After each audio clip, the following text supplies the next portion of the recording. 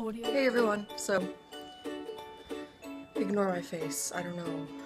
I don't know what's happening.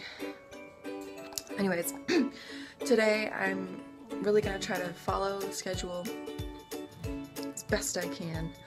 So today we're starting off with breakfast and it's another chia seed pudding and we have coconut and pistachios. So this looks great. Yeah, um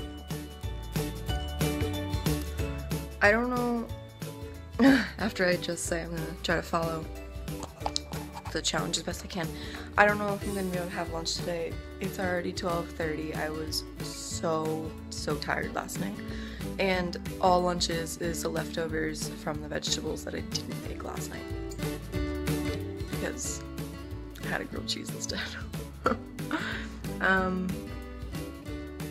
Anyways, though dinner is spinach and squash with a fried egg, but I think I let my mom eat all of the spaghetti squash, so it'll probably just be squash with a fried egg. Or um, spinach with a fried egg, which. whatever.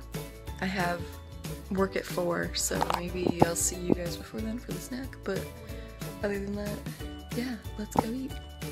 Hey guys, so I just got back from work. I just got out of the shower, so it's about 9.30 right now. So I'm gonna start making dinner. And I let my mom eat my spaghetti squash, so all I have is spinach and the fried egg, so I think I'm gonna add a piece of toast. so yeah, I will talk to you guys after.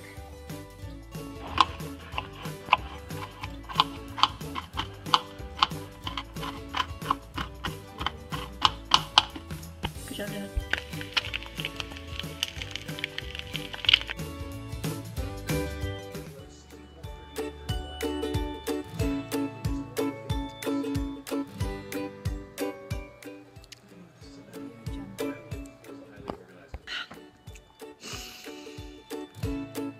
So the day is over. It's another weird one, but all the meals I had were delicious. Breakfast was super good. I think dinner was my favorite. So yeah, I didn't have time to have lunch, and I just had a granola bar. Uh, um, yeah. Tomorrow should be different, so stay tuned for that video. And um, yeah, have a great day. Bye guys.